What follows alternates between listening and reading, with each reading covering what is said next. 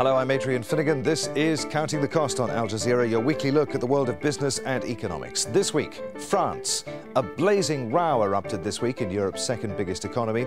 French President Francois Hollande was forced to purge his cabinet of rebel ministers because they disagreed with his economics. His popularity is now at an all-time low and France could be falling into recession. We'll investigate whether France is on the brink. Also this week, we'll be taking a look at the drugs industry and Ebola. The outbreak of the deadly and highly infectious disease in Africa has already claimed over 1,500 lives, and health officials are warning that the worst is yet to come. So why is there still no approved treatment for the Ebola virus, and why is Big Pharma not interested? Also, Indonesia's sugar addiction, the world's fourth most populous country, has become the world's largest importer of sugar. Once the largest exporter, local sugar mills can't keep up with demand. But Indonesians' sweet tooth is costing the country dearly.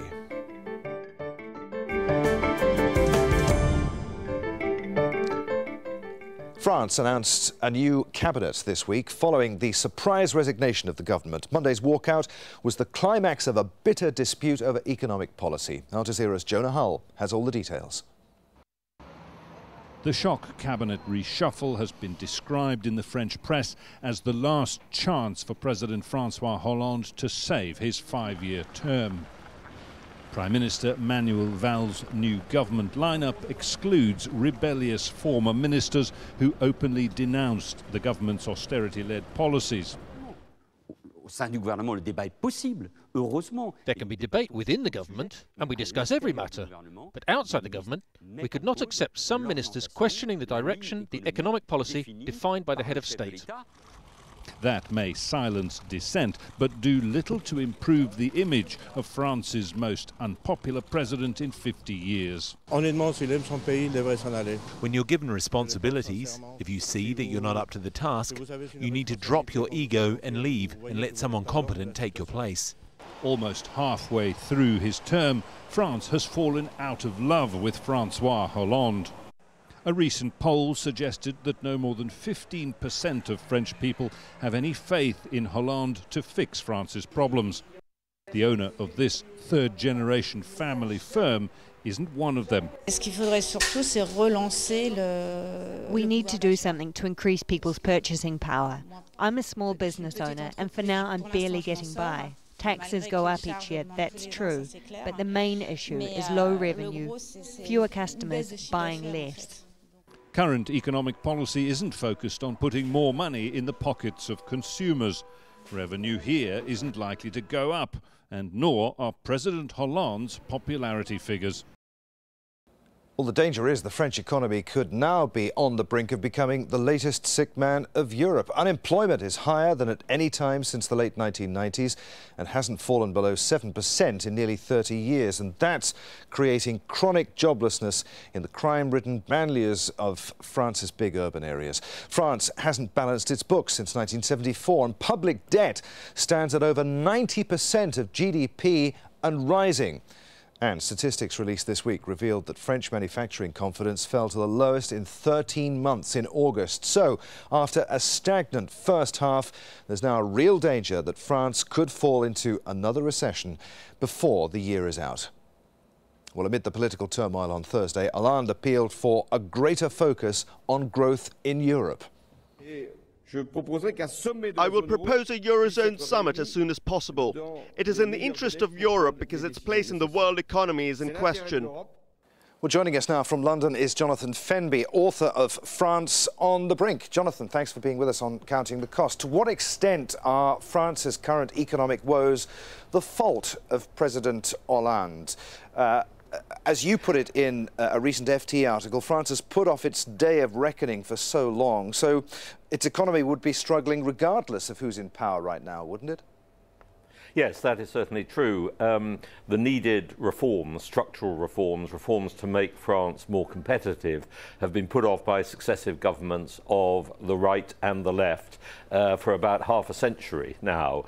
Uh, France has had politicians like Nicolas Sarkozy, the previous president, who came to office um, vowing to shake things up and make reforms, and then quickly went into a kind of protective huddle and uh, did very little uh, in the end. Hollande made things worse by coming to power a couple of years ago and uh, taking measures which were designed to reflate the economy, to get out of the recession and depression which, China, uh, which uh, France has uh, suffered from, but which uh, had the effect, particularly through high taxation, of actually damping down activity, lessening household consumption, and producing growth, which its forecast will be below 1% this year, along with very high unemployment. Is there anything in the president's background, his experience before coming to power that is perhaps exacerbating uh, France's economic woes?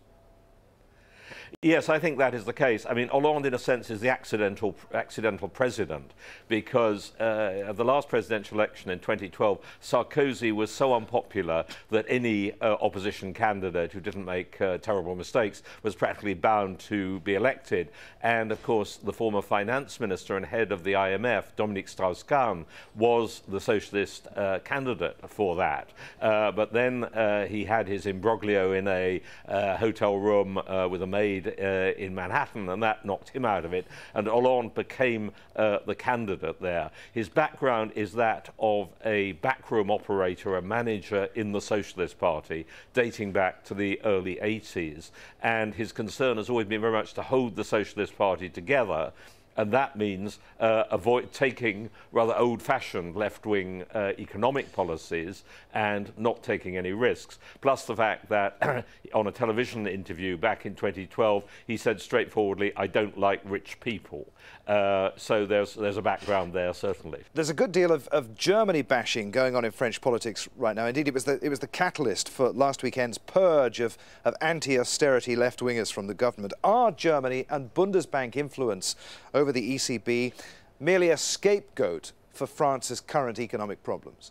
They are in part a scapegoat. It's very easy to blame foreigners, of course, rather than getting to grips with your own uh, internal uh, problems. Uh, but there is certainly a, a, difference of policy analysis between Paris and Berlin, with Berlin with a strong economy, although it is weakening now to some extent, insisting on austerity and France always having uh, had liked the idea of reflation, of pumping money into the economy, of bashing the rich, um, and of taking uh, that kind of approach, which has applied uh, under some right wing governments uh, as well as left wing governments. But I think there is a deeper, almost existential issue here, which is that if you think back to the late 1950s, the founding of the Fifth Republic, which still rules in France, uh, by Charles de Gaulle, the, very much the deal in Europe at that point was that France took the political leadership of the European community while Germany supplied the economic motor. And Germany went along with that at the time, but increasingly, Chancellor Merkel is taking a political uh, role. Indeed, some people think she's not taking a sufficiently strong international political uh, position.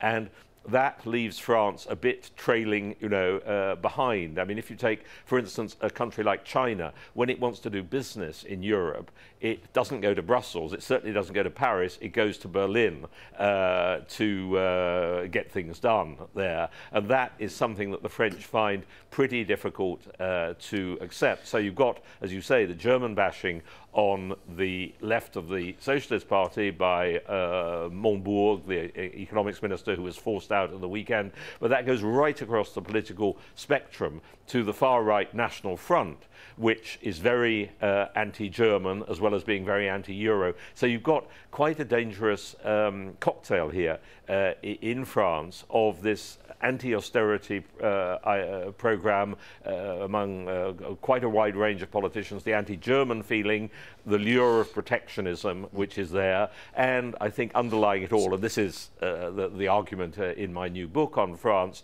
the feeling that somehow France is no longer playing the role which its people still think it is due to and should be playing. And this is a kind of you know national identity crisis yeah. Which you're going through, and which is shown in the latest events. So, I wanted to ask you what, what dangers France's current political and economic malaise pose to, to, the, to the European project the danger which I think Hollande will not fall for because he made his decision very clearly uh, at the weekend uh, not to, to go for this. But the danger is that uh, nationalism may rise in France, particularly at the next presidential election in 2017, and particularly if Hollande, who's very weak in the polls, below 20%, if he runs again. And then you could get a pretty chaotic uh, political situation based on the economic woes of France with the National Front. I mean, the National Front leader, Marine Le Pen, now outpolls uh, the president, Hollande, uh, in the opinion surveys.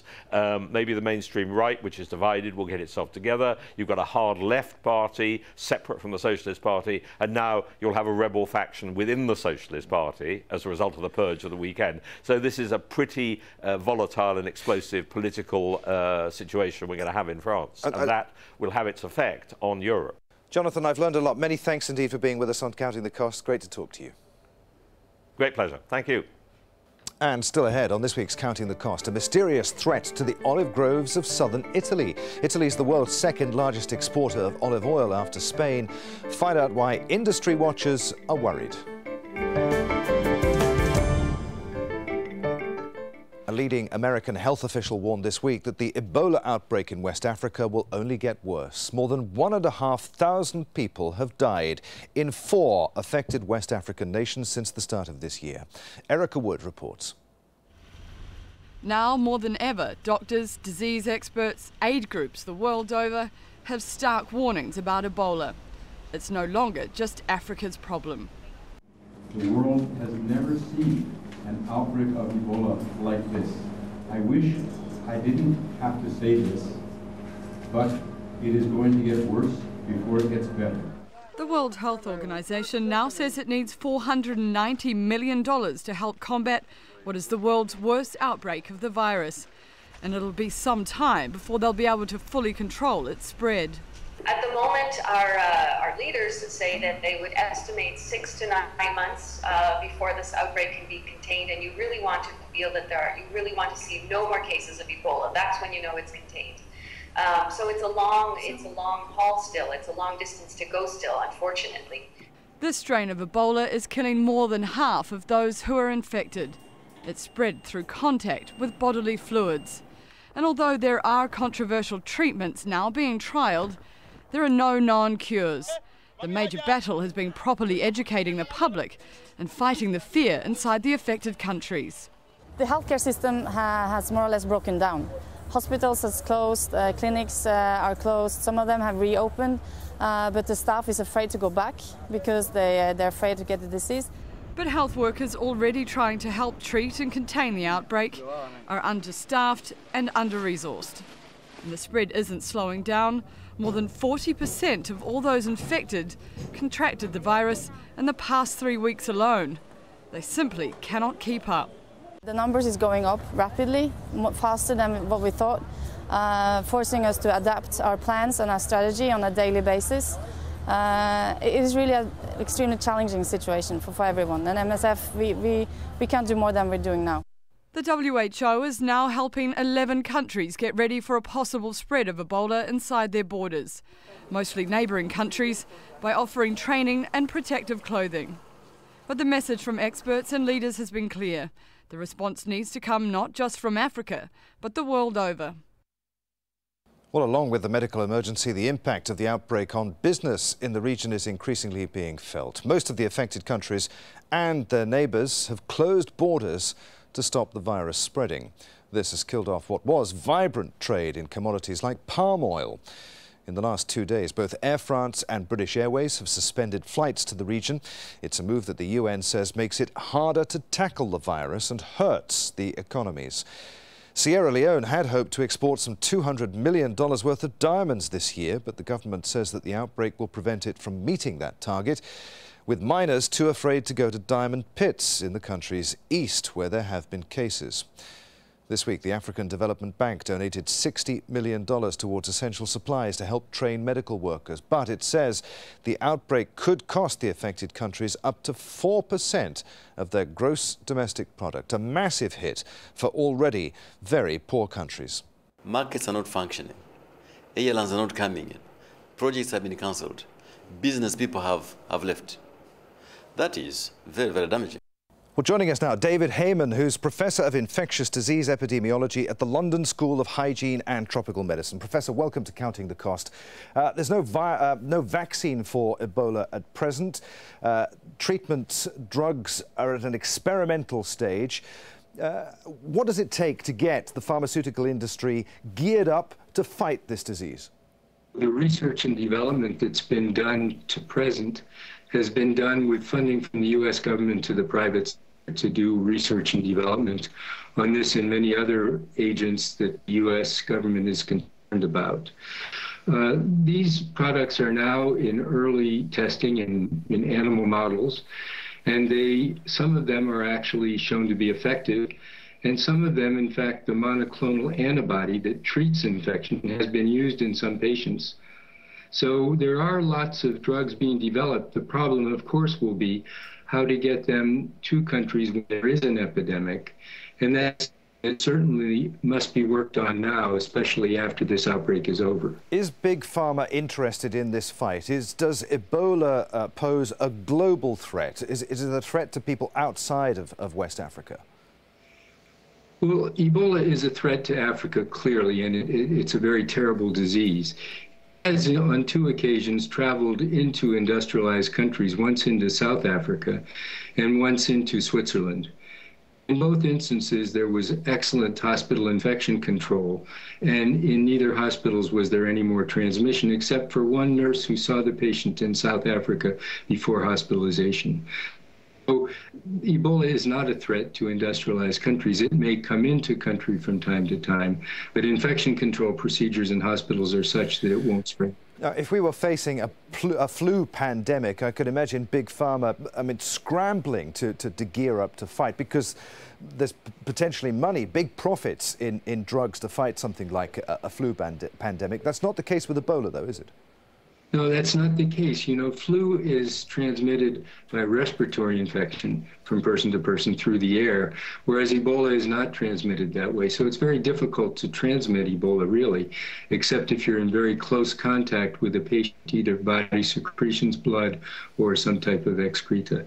Aside from that, Ebola doesn't spread from human to human. All right, so where are we, we at as far as um, uh, the pharmaceutical fight against Ebola right now? As we said, there's no, there's no vaccine, there are experimental drugs. How do those experimental drugs work? What do they do? Well, vaccine will actually cause the body to develop antibody and prevent infection. So that would be ideal to have a vaccine. The drugs are of two different types. One is an antiviral drug, which kills the virus in the body, and Ebola is caused by a virus. And the other is a monoclonal antibody, which is a preparation to neutralize the virus if it's given to a patient who's sick. There is hope in Africa because they could be trying, and some countries may do this, trying convalescent sera, that is, serum from patients who have had the infection and who have recovered, collecting their blood, collecting the antibodies it to patients. This has been tried before in epidemics. And what is needed now is to try it again, but with closely controlled clinical trials so the effectiveness can be seen whether or not this is really effective. Does the nature of this disease make research and development of drugs particularly difficult? Yes, it's very difficult to study these in the laboratory because, as you know, it must be done in a maximum security laboratory. But that's not a deterrent to developing drugs and vaccines. The deterrent, of course, is the market.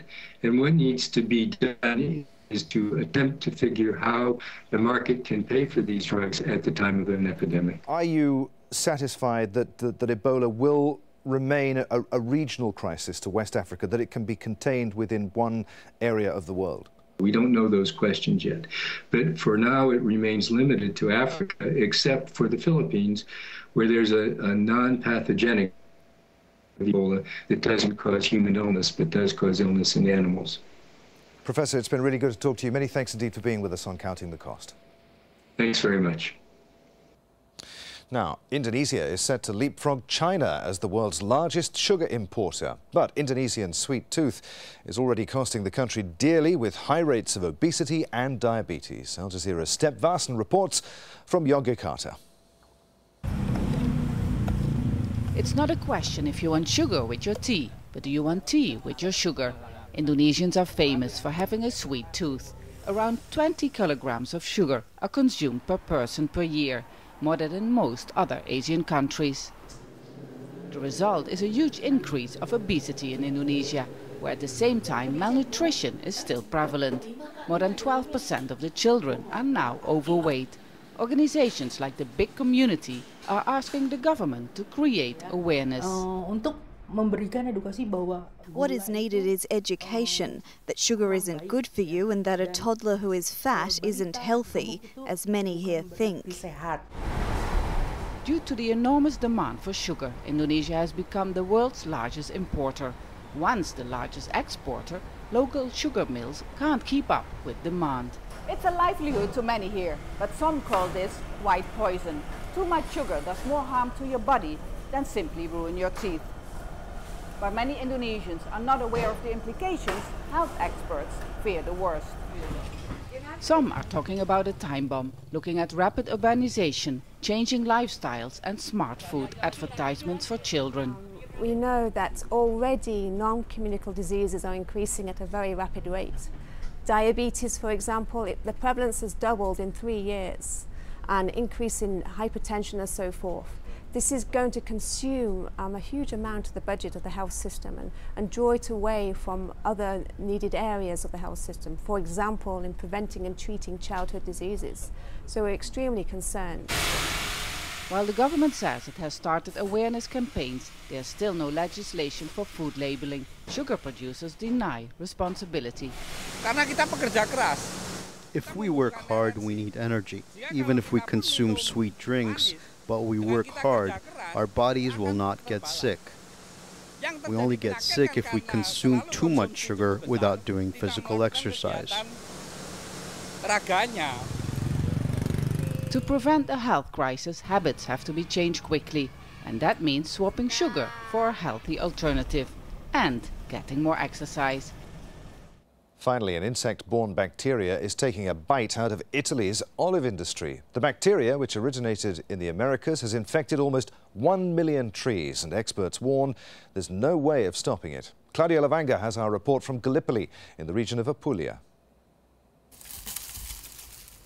For Cosimo De Luca, this is usually the time when a year of hard work bears fruit. He is one of thousands of olive growers in the southern Italian region of Apulia, the nation's biggest producer of quality olive oil. But this year, his business is suffering. It's a pandemic. Look around. All my trees are dead, and nobody is doing anything about it. They abandoned us. This is what's killing Cosimo's trees, the Xylella fastidiosa, a bacterium common in the Americas but never seen before in Europe. It's difficult to know how the bacteria reached Italy, but it's clear how it spreads. This is the carrier of the bacteria. It's called the meadow spittlebug. It's a small cicada. It looks harmless, but it transfers the bacteria from tree to tree, which eventually kills them. So far, 800,000 trees were contaminated. That's 10% of the region's total. The cost to local olive oil producers $300 million. Scientists are trying to contain the problem by cutting down infected trees, some 500 years old. But they say prevention is better than the cure. Eh, this bacteria has been known in the American continent for 150 years, but there is no cure or prevention for it. We can try to contain the disease, but in Europe there is no system of quarantine for plants coming from abroad. The disease has not yet influenced the quality or the price of olive oil from Apulia, but it's spreading fast, and farmers here say something has to be done soon to avoid this centuries old tradition going dry. And that's our show for this week. Any comments? Feel free to tweet me at A Finighan. Use the hashtag counting the cost or drop us an email. Counting the cost at aljazeera.net, our address.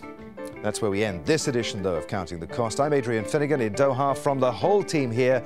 Thanks for being with us. The news on Al Jazeera is next, and I'll see you again.